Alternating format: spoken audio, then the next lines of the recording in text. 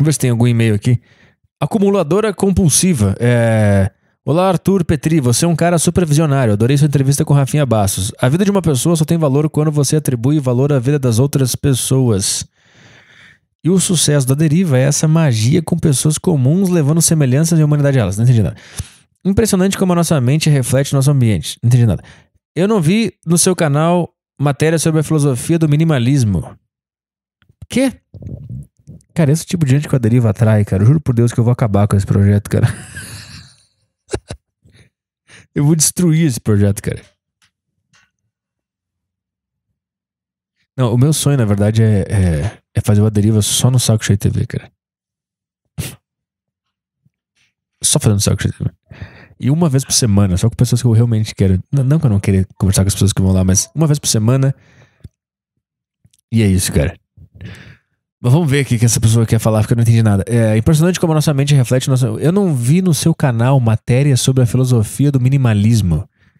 Desenvolvi uma técnica milenar chinesa e japonesa. Como você pode aplicar na sua vida trazendo economia consciente de dinheiro e tempo? Como acumulei 400 pares de sapatos e usava dois furados? Que? Mas é só não ter 400 pares de sapatos, cara. É, o, minimalista, ele é sempre um cara.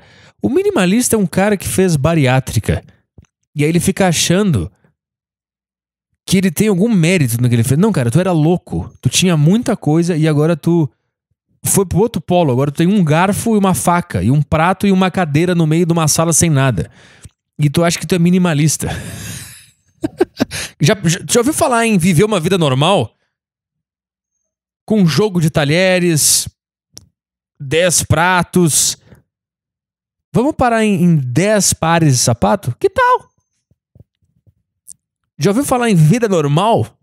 Existe. Ninguém precisa ser minimalista. Deitar num tapete de yoga e dormir porque eu não quero ter cama. eu só tenho uma luz em casa, eu não preciso de dois abajures. Porque antigamente eu tinha um milhão de lâmpadas. Sim, era só não ter um milhão de lâmpadas.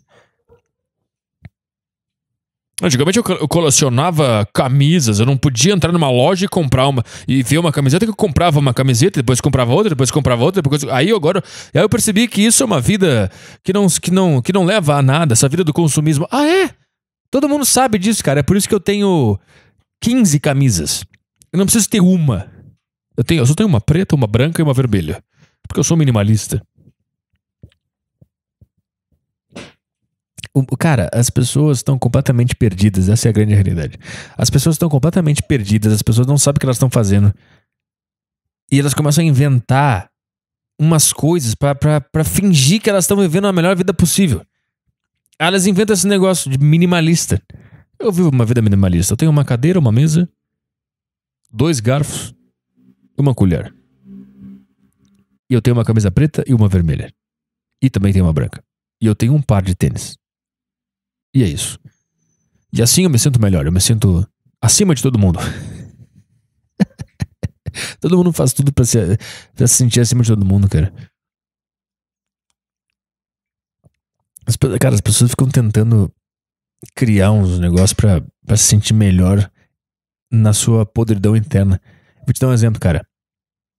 Massagem tântrica, terapia tântrica. Isso aí é coisa de gente que quer fazer coisa errada só que tá com medo de, de, de chafurdar na lama. E aí quer fingir que é uma terapia. Não, é uma terapia aqui. Eu tô, tô numa terapia só. Isso aqui é pra conhecer melhor meu corpo. Não, cara, tu queria estar tá num swing. É isso que tu queria estar tá fazendo. Só que tu tem vergonha de fazer isso. E agora tu vai numa terapia. Numa terapeuta. É, é, é. Como é que é o nome? Uma quântica. Eu falei quântica. Como é que é o nome daquele negócio, cara? Do sexo. Tântrico. É tântrico. Eu falei quântico antes? Nem sei. Tá entendendo o que eu tô falando, cara? Tu queria estar num swing, dando culpa, dois caras chupando uma rola e uma, e uma mulher beijando tuas tetas. É isso que tu queria estar fazendo. Mas como tu sabe que isso é errado, tu inventa uma filosofia de vida. Ah, não, aqui é a terapia tântrica. Eu vou conhecer meu corpo melhor. Caralho, vai, no, vai numa casa de swing e dá o rabo. Mesma coisa com o minimalista, cara. Caralho, tu não quer fazer isso, cara. Tu só quer não ser um consumista. Só consome no, na metade do caminho, cara.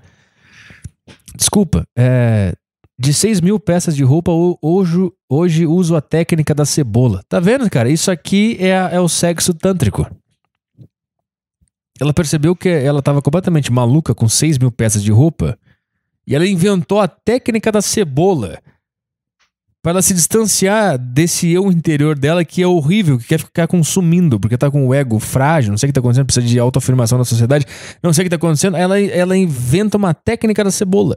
Quando era, era só comprar 15 camisetas, não precisava ter 6 mil peças de roupa. Também não precisa ter meia peça de roupa.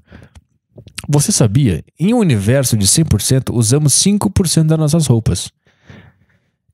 E como de quatro malas grandes, reduzir para uma mala de mão, não importa o tipo de viagem, atende todos os estilos de qualquer parte do mundo, tá? Mas isso é qualquer homem do mundo já é assim. Cara, uma mulher minimalista, ela, ela percebeu que ela tá vivendo numa loucura e ela começa a viver que nem o namorado dela. É basicamente isso, uma mulher minimalista. Como fazer mudança de cidade até de país de forma econômica e inteligente? Tá. Dicas simples e práticas de como saber o que levar à mala. Tá, que isso? E como o luxo tem a ver com minimalismo?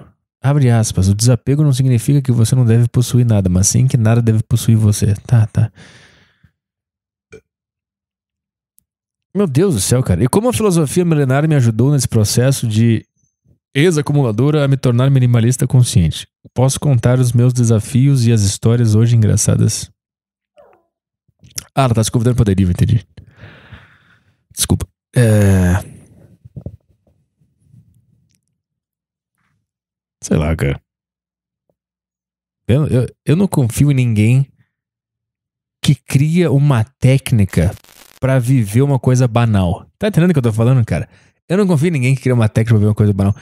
É só viver, cara. É só comprar menos coisa. Não precisa ser minimalista. A técnica da cebola. Caralho, tenha duas malas. Leva duas malas pra viagem, cara. Foda-se. É. Oh.